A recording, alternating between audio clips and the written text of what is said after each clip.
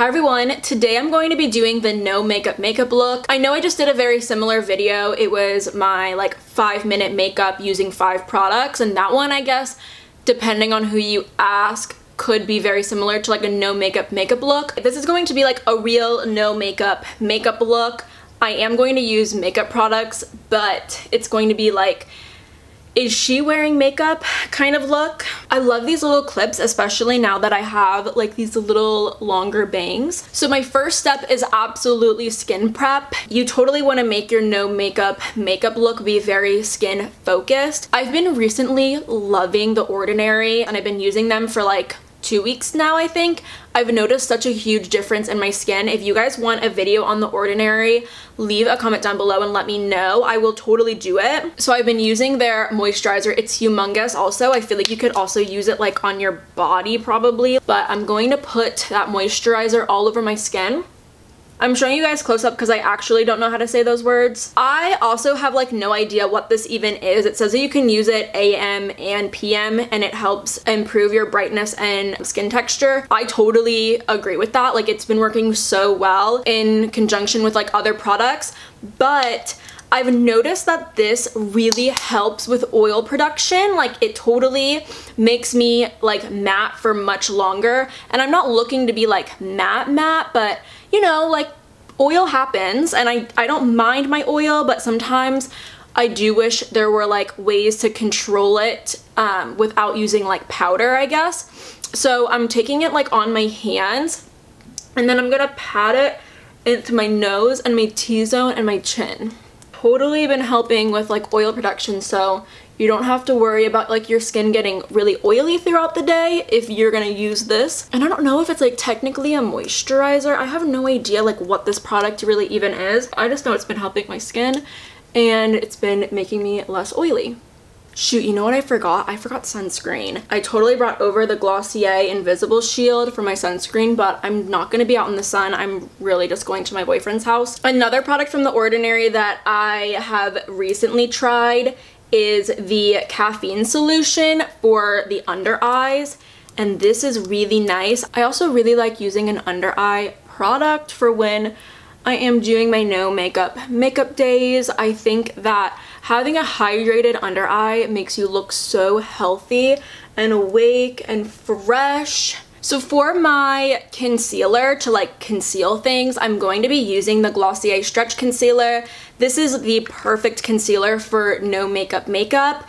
I love this concealer because like you literally can't tell you're wearing anything on the skin, but it does a pretty good job at covering things up. So I'm going to like mainly focus on covering up these scarrings that are on my cheeks from like this little breakout that I had for a little while. But The Ordinary really cleared it up. I'm just working on using like some vitamin C to lighten up the scarring. See, like it kind of just helped lessen the appearance of it and you can still see it peeking through the skin but I think it looks a lot better than how it did before. I also have this like darkness right here that I like to cover up, putting right there. I'll put like whatever is left over on the chin. I don't put any around my nose because I know that will crease, but I do put it on the tip of my nose because I want it to be a little less red. Doing the other side. So the biggest trick that I can tell you guys for the under eye and concealer on a no makeup makeup day is to focus your concealer on the outer part of the eye and not the inner part. And the reason for that is a lot of the creasing happens right in here but there's still like a little bit of darkness around the whole eye and if you just focus it a little bit on the outer corners then it lessens the appearance of the darkness but doesn't crease so it's like a little hack. And that's what I used to do when I would visit my boyfriend on late nights. So I would put it on the outside of the under eye, like the outer part, I guess, and then drag it down, but totally avoid this area right here.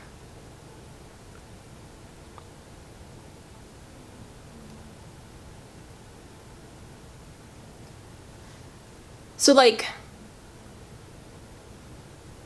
yeah, you can totally tell that this side is brighter looking, but it still looks very natural and it won't crease.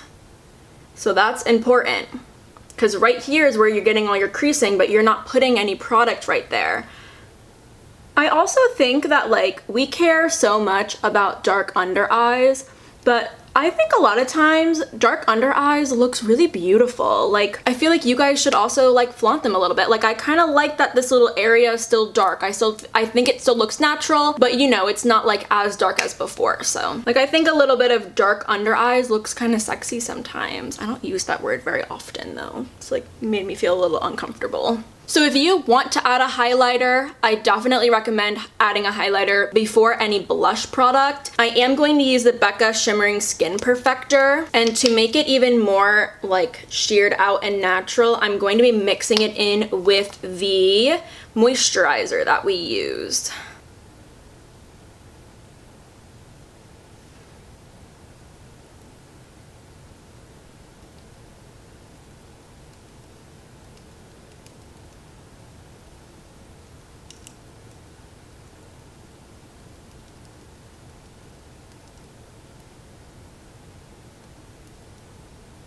Next, I'm going to be using a Glossier Cloud Paint, and this one is in the shade Dusk. This is like really the most natural one that they have. Also, I didn't mention this before when I was using my stretch concealer, but I do have a rep link with Glossier, and I will link that down below. You can save 10% off if you do decide to use it. I typically use the Cloud Paints with a brush, but I'm not going to today. I'm just going to be adding like a little, a little bit of her on my cheeks.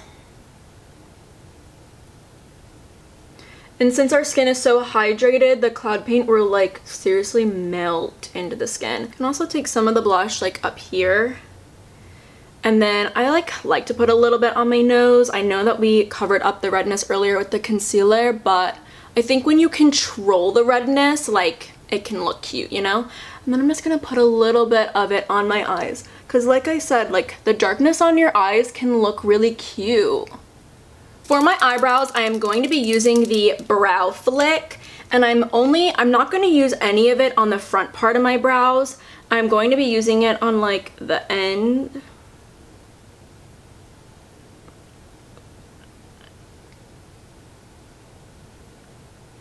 Because I do have like some weird balding right there.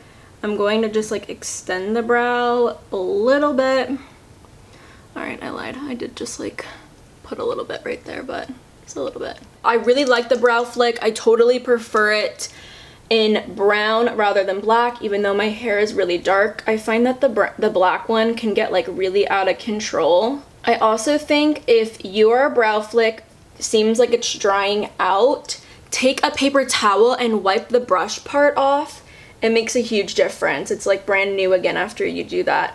I think what happens is like the brow flick tip dries up because I do think there's like a waxy property in it or something so it kind of gets like a little bit goopy on the tip so just like clean it off and it's like brand new again. To set my brows, I'm going to be using the ColourPop Brow Gel. The reason why I'm not using uh, like a colored boy brow or something is because I don't want it to look like there's anything in my brows. Not that like the boy brow gives it away, but I don't know. This is just like a no makeup makeup look, so just trying to be as like light as possible. And I absolutely love the ColourPop brow gel. It's like kind of waxy, so it really holds your brows. It's not like a gel, it's like a wax. I feel like, what is it called? It is called a gel, but I don't think it's a gel. It's like a cream for your eyebrows. I'm not going to put any mascara on. This would be the point where you would probably like curl your lashes. I don't have a lash curler. Can you believe it? I use my sister's a lot, but she took hers back to school with her. Isn't that kind of rude? And then for my lips, I do use a lip liner. Um, I just don't like overline my lips and I definitely still keep it really natural. I'm using the Buxom Plump Liner in Hush Hush.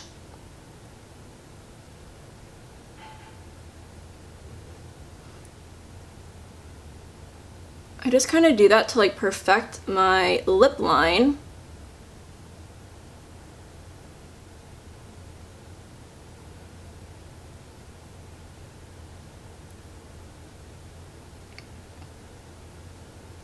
See, like that still looks very natural, like it doesn't look like I'm wearing anything. And then I'm going to go in with the new Glossier Balm Dotcom in their berry scent.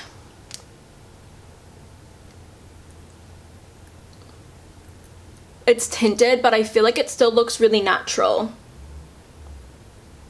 Like it kind of looks like my lips naturally look like this and I just have like a lip balm on or something. So there you have it. Here's the finished look.